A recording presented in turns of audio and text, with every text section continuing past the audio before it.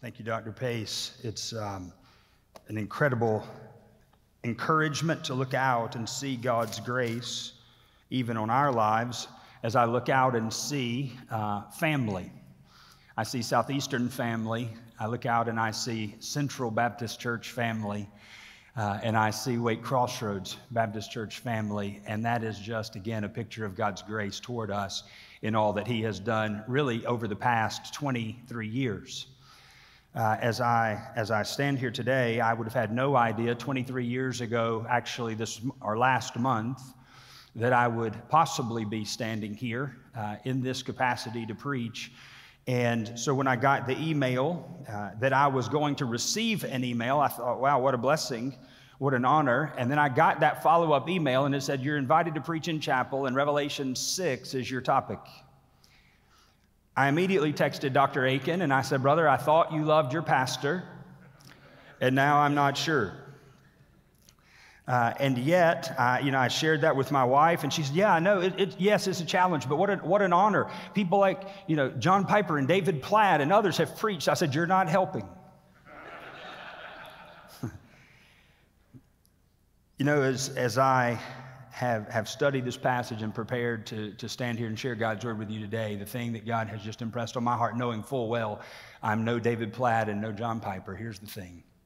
What matters is not who is standing here proclaiming the word, but the one whom we are proclaiming Jesus Christ and Him crucified, buried, risen, and coming again. And so I want you to turn, if you have your Bibles with you, to Revelation 6 as we continue this study in Revelation, and as we look at uh, this issue here from the, the whole chapter this morning, uh, under the heading, We Are Almost There. We're almost there. Revelation 6, uh, this is the word of the Lord. Then I saw the Lamb open one of the seven seals, and I heard one of the four living creatures say with a voice like thunder, Come. I looked, and there was a white horse, and its rider held a bow. A crown was given to him, and he went out as a conqueror in order to conquer. When he opened the second seal, I heard the second living creature say, Come. Then another horse went out, a fiery red one, and its rider was allowed to take peace from the earth so that people would slaughter one another, and a large sword was given to him. When he opened the third seal, I heard the third living creature say, Come. And I looked, and there was a black horse. Its rider held a set of scales in his hand. Then I heard something like a voice among the four living creatures say, A quart of wheat for a denarius and three quarts of barley for a denarius. But do not harm the oil and the wine. When he opened the fourth seal, I heard the voice of the fourth living creature say, Come. And I looked, and there was a pale green horse. Its rider was named Death, and Hades was following after him. They were given authority over a fourth of the earth to kill by the sword, by famine, by plague, and by the wild animals of the earth. When he opened the fifth seal, I saw under the altar the souls of those who had been slaughtered because of the word of God and the testimony they had given. They cried out with a loud voice, Lord, the one who is holy and true. How long until you judge those who live on the earth and avenge our blood? So they were given a white robe, and they were told to rest a little while longer until the number would be completed of their fellow servants and their brothers and sisters who were going to be killed just as they had been. Then I saw him open the sixth seal. A violent earthquake occurred. The sun turned black like sackcloth made of hair. The entire moon became like blood. The stars of heaven fell to the earth as a fig tree drops its unripe figs when shaken by a high wind. The sky was split apart like a scroll being rolled up, and every mountain and island was moved from its place. Then the kings of the earth, the nobles, the generals, the rich, the powerful, and every slave and free person hid in the caves and among the rocks of the mountains. And they said to the mountains and to the rocks, Fall on us and hide us from the face of the one seated on the throne and from the wrath of the Lamb, because the great day of their wrath has come. And who is able to stand? Would you pray with me? Father, we ask now in these moments for your help. God, we ask for the work of your Holy Spirit to take your word and to speak to our hearts. God, that we might hear from you. God, that we might then, having heard, respond in faith and obedience as you would speak to us this day from your word. And God, our prayer would be that as we have heard and responded, God, we pray that when we leave, every one of us would look more like Jesus than when we came. We ask it in Jesus' name. Amen. We're almost there. Most of you who have uh, children know well what it is to go on a long car trip uh, with your kids and to hear that blessed question Are we there yet? With our kids growing up some uh, nine hours away from all of our family, especially when our kids were young, uh, 23 and more years ago, we would prepare and we would let them know it's going to be nine hours, it's going to be a long ride. It didn't matter we would barely leave the driveway or maybe be five minutes down the road. The question would come, and then about every 15 minutes along the way Are we there yet? Are we there yet? And you know, the reality is, down through the ages, God's children are not a lot different in asking such questions. Frequently, we, I mean, they would ask, Are we there yet? The prophets would foretell that coming day. Jesus' disciples would ask, When is that day coming? And, and help us to know and understand exactly what it's going to look like when that time comes. All of these Times through history, we've seen and heard that type of question. We look around us today, don't we? And we see all kinds of unprecedented cosmic events, the rise and fall of governments. We see calamity taking place all around us. We see conflict among men and all of these things on the world scene. We see the expansion of global currency. We see implantable, digital, scannable technology. And we hear the question all around us Are we there yet? Are we there yet? Well, as we consider that question and as we consider these verses, I want us to see here clearly what the scripture shows to us in, in Revelation 6, which is simply this before Christ returns, he will pour out his wrath on sin.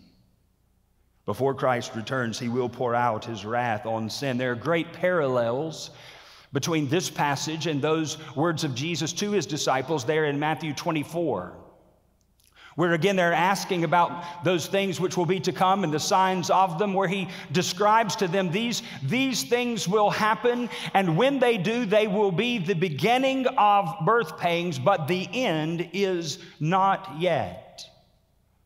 And so that's why I would say to us this morning, that's why we would approach this chapter here along those lines of we're almost there but not yet. As we look at the events that unfold here in Revelation 6, I want us to see some truths that we can latch on to and hold on to as we see these horrible things beginning to unfold. The first one that should encourage us, just briefly, is this the Lamb is in control. The Lamb is in control. Again, I don't want to spend a lot of time here. I know it was the thrust of last time, but I think it's worth us noting that there in Revelation 5 and in the introductory words here in verse 6, then I saw the Lamb. It's important for us to just note here as we begin to see the things that follow that the Lamb of God, the one who was slain and is alive forevermore, the only one who is worthy to break the seals and to open the scroll control. He is in absolute control through all that is about to be demonstrated and take place. Jesus does not need to take the wheel, he's never lost control of it. The Lamb is in control. There's intentionality and there is purpose in the things that are taking place, even as John sees one by one the Lamb beginning to loosen those scrolls, that the scroll, the seals, that the scroll might begin to unfold. It is under His authority, that authority of the Lamb of God, that these events take place. Be encouraged as you as you read these verses. The Lamb is in control.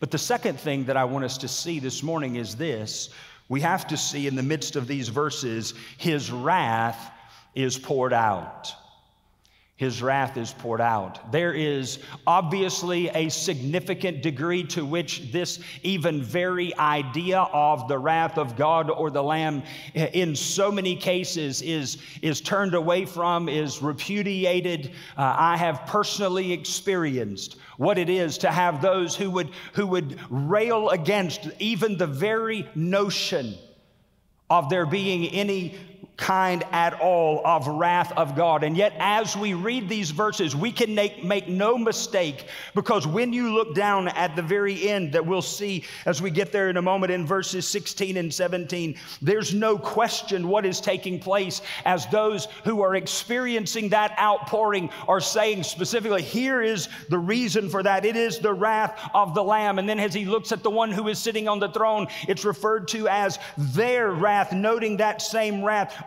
that it is one. Listen, we can understand the idea or the, the desire to turn away from the idea of the wrath of God because we think about it in terms of our own wrath, don't we? I am very familiar that if, if I find myself in a place of anger or even as we might call wrath, I can assure you those things, the way I would be inclined in my fallen humanity and sinfulness to express it, will not work the righteousness of God. And yet the scripture is clear not so with God. His wrath is not like ours. The one who is seated on the throne and the Lamb will exercise a righteous wrath, one that is perfectly just, one that is completely controlled, and one that will be poured out on sin. As the Lamb begins to open the seals that would then be followed in subsequent chapters by the bowls and the trumpets his wrath is, is unleashed on the earth. And as John, no doubt, is hearkening back to the prophecies of Zechariah 1 and sees these four horses and their riders coming forth, eh, depicted in this vision, each one in turn, not showing up on their own initiative or their own volition or in some willy nilly disoriented kind of man- manner, but rather at the unrolling of and under the leading of the Lamb who is loosening the seals, and those of the great beast who are calling, Come, the living creatures. Listen, there's obviously much discussion about the timing of this, these events as they unfold. Have they happened at some time in the past? Are they occurring even now, today, in our midst? Or are these referring to those events that one day will come yet in the future? I appreciate the way one writer describes sort of what we see here and yet our experience today, noting it as sort of us today seeing the shadows, as it were, of, of these four horses and their horsemen approaching, and yet recognizing that the great severity and fullness of all that is described here will come yet one day in the future when they finally arrive. And listen again, make no mistake, these horses and their riders are not riding under their own control or simply by their own authority or volition. They are responding to that which is being declared by the one who is over all things. When we consider what we see today, there's, there's, no, there's no arguing that we certainly see the shadow of deception and power craving among worldly governments the kind of thing that we see described here by this horse, this white horse, and its rider, and the one who is carrying this bow that has been given, perhaps pointing ahead to the, to the short term reign of Antichrist when he would come there near the end of time. But make no mistake, as we, as we see this and we read of this white horse and the rider who sits upon it, not confusing that it is the one who is described there in Revelation 19 who will come in victory, riding on a white horse, none other than the Lord Jesus Christ Himself. Listen, when Christ comes in Revelation 19 riding on that white horse, He's not coming to kick off these things that are happening, He's coming to bring them to an end. We see the shadow of war and bloodshed today like that that's depicted there in verses 3 and 4 as you see that, that red horse the fiery red one that is coming and its rider we see the effects of it around us. We see it in the Middle East. We see it in West Africa. We see the potential for it increasingly so in places like Ukraine, where there is not only, there is not only conflict and warfare and bloodshed taking place between countries, but even within them. I think about those who are, who are close friends of mine who have served our Lord in difficult places where, because of these kinds of things, had to keep a bag for each one of their family members packed by the door, waiting because of the, the incredible press of civil war in the places they were serving, having to be ready at a moment's notice that if the, if the bloodshed and the killing around them became even greater than it was, or became so close that it did not have any sense of wisdom for them to stay in that place, having to be ready to go. Them experiencing personally the reality of these kinds of things. And yet, as my people from Alabama would say, when these days come, we ain't seen nothing yet. The beginnings of birth pains. We see the shadow of the approaching black horse that we see mentioned here in verses 5 and 6, particularly in places like sub Saharan Africa, where, where famine and pestilence are so severe and taking the lives of so many. You see the cascading nature, the progression that's taking place here as each of the subsequent horses and riders come.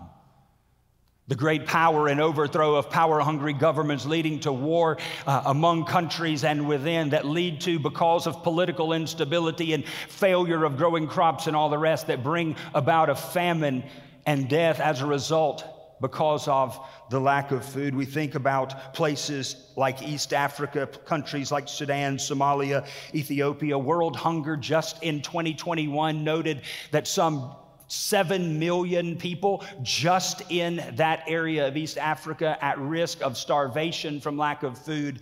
And at the same time, some 34 million others facing great food, food scarcity with the threat of coming death as a result of lack of nutrition. But we don't see among us that kind of widespread severity where, even as we see the description here, where it would take even a full day's wage simply for a daily ration for an individual person. We're almost there by this point, but not yet. From the effects of war and starvation and pestilence, today we see the shadow, don't we, of this fourth horse, the pale green one and its rider, who is appropriately named Thanatos, death. And the one who comes closely behind him, his close companion, Hades, who is with him. The thing that I want you to notice, though, again, as you look here, just as in the same way of those previous horses and horsemen who came. I want you to notice again the reality of the authority where it's coming from, that these, this is not their own volition, this is not their own authority. They, they, are, they don't have the freedom to simply turn loose and do whatever it is that they please with whatever. There's a, there's a sense of measuredness and there's a sense of given authority that has a limit because I want you to see here, even as it is noted there in the end of verse 8, they were given authority.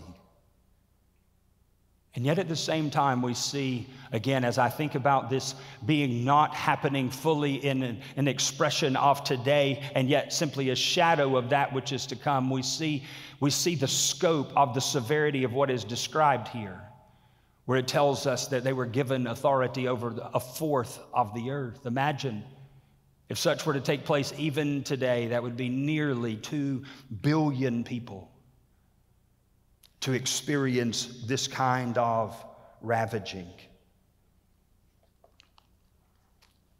At this point, we may be almost there, but we aren't there yet. And yet we feel the weight of the delay of Christ's return, don't we, as we see the opening of the fifth seal. I want you to, to listen to these words again.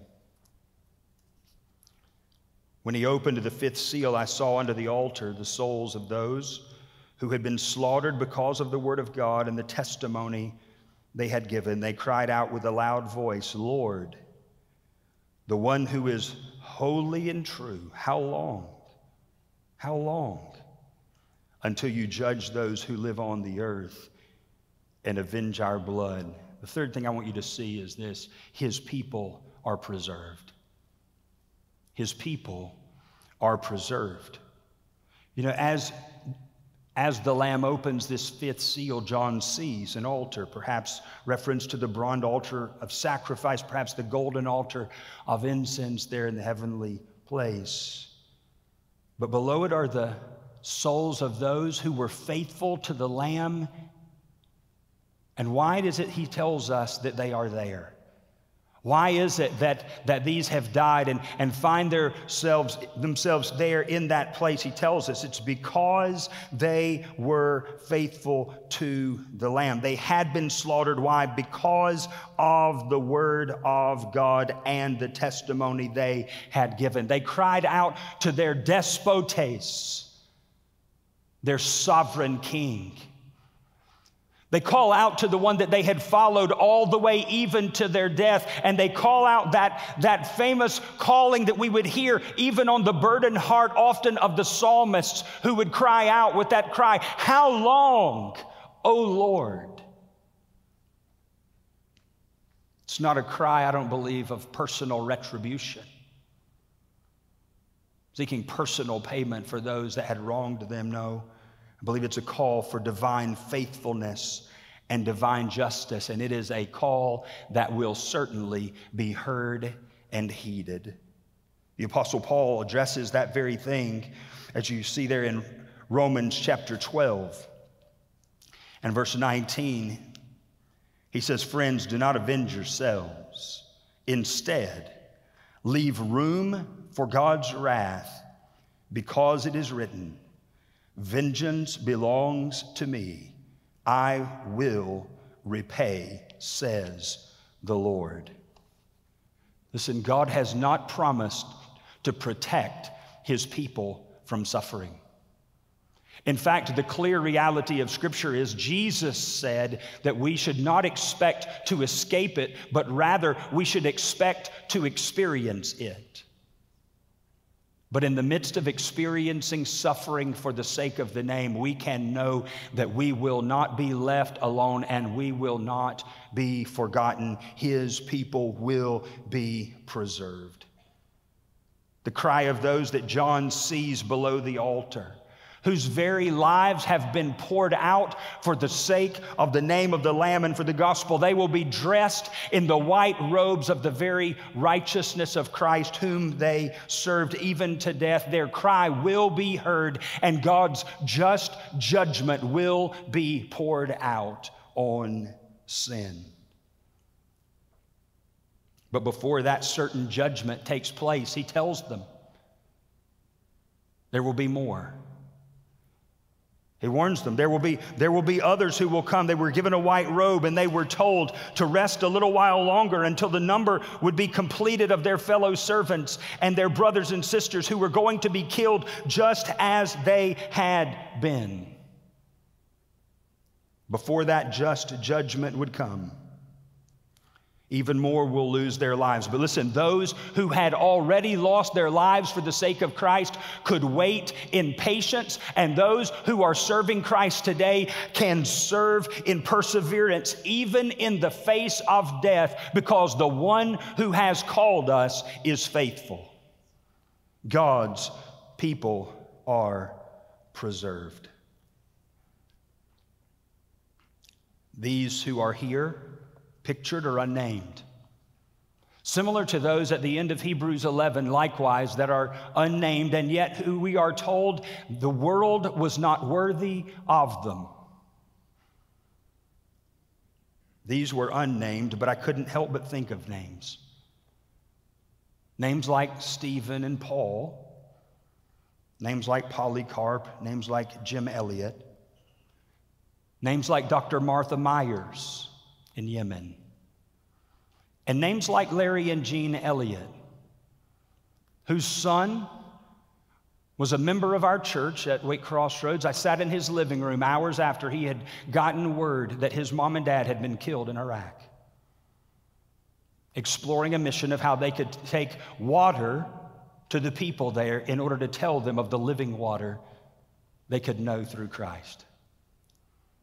I remember him standing on this very platform, giving honor to his mom and dad who had given their lives for the sake of the name and said their lives were not in vain.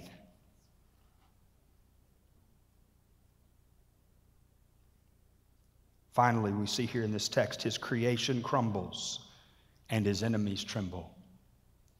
His creation crumbles and his enemies tremble. We see that in the in these last verses as the sixth seal is open there in verses 12 and following. The prophets foretold the coming of such cataclysmic events. You see them in places like Joel chapters 2 and 3. You see them in Ezekiel 32 and 38, Isaiah 32 and 34 that mentions these, these kinds of, of cataclysmic events that will happen when the end is coming, near the day of the Lord. I couldn't help but think the perfect creation that appeared at Christ's word, that was subjected to futility because of sin. Here we see completely coming apart as all heaven breaks loose. And yet it's just before, in glorious recreation, our Lord and King will make all things new. But you see, the reality is a day of accounting is coming for all. There's none who will escape. In fact, John makes very clear as he draws and, and paints with a broad brush the, the wide strata of all of humanity from greatest to least kings and paupers, slaves and free. Those who had appeared so powerful now in abject horror, seeking to hide. And I thought about, I thought about them hiding in these mountains and caves and thought, you know, it's the epitome of folly to seek to hide in created things from the one who created all things. And yet, even the greatest, again, to the least. They're hiding there seeking peace, but no peace can be afforded for them. Why? Because they had rejected the very one who himself is our peace. And instead are left with nothing but terror. Rather than crying out in repentance and faith, they now cry out in terror and fear.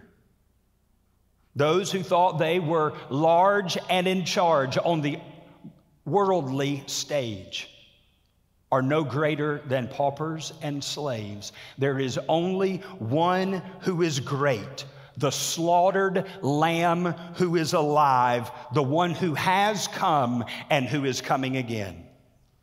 He alone is great. You see, they're seeking to hide from his face. But you know, even as we sung just a little while ago, listen. Beloved, because of the work that Christ has done for us in our faith in Him who is Lord and King, these at the end who have rejected Christ are seeking to hide from the face of the one who sits on the throne. But we who know Christ look forward and long to see His face one day when He comes again. Who can stand? The question is asked here at the end. The reality is of those who have rejected Christ and the forgiveness and life that only He can bring, the answer is clear no one can stand. So, what does that mean for us as we consider these realities here from Revelation 6, where we know the end is coming but is not yet? We're almost there but not yet. How do we respond today in faithfulness, in obedience, in light of the fact that these things are true? Just a few admonitions to us. If the uncertainty of the timing of Christ's return has you parsing charts rather than proclaiming Christ, you're doing it wrong.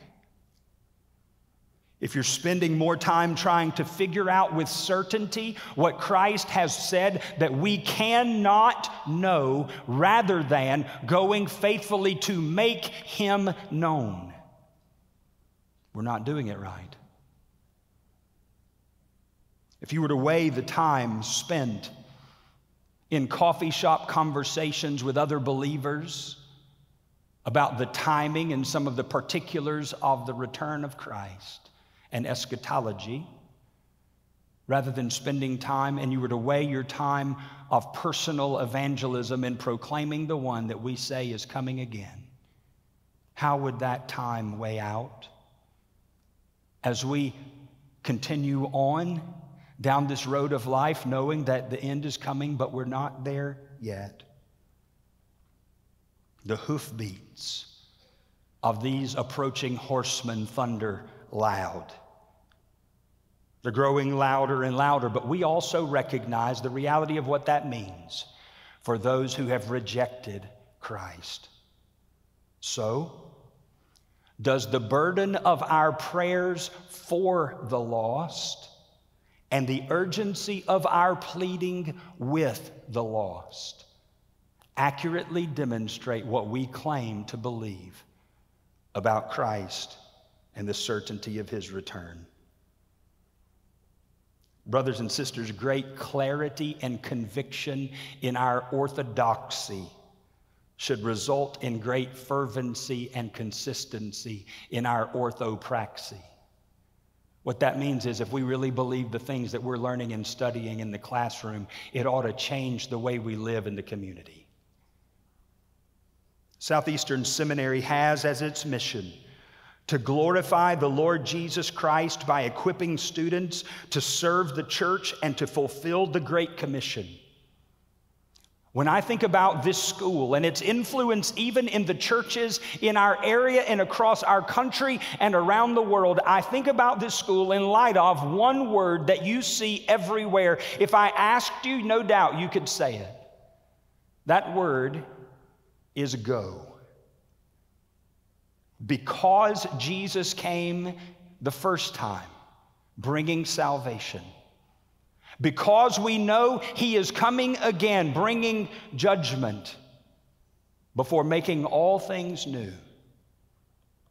May we be faithful to go and take the good news of life and forgiveness through Christ to our neighbors and the nations until our triumphant King returns. God, help us to be faithful.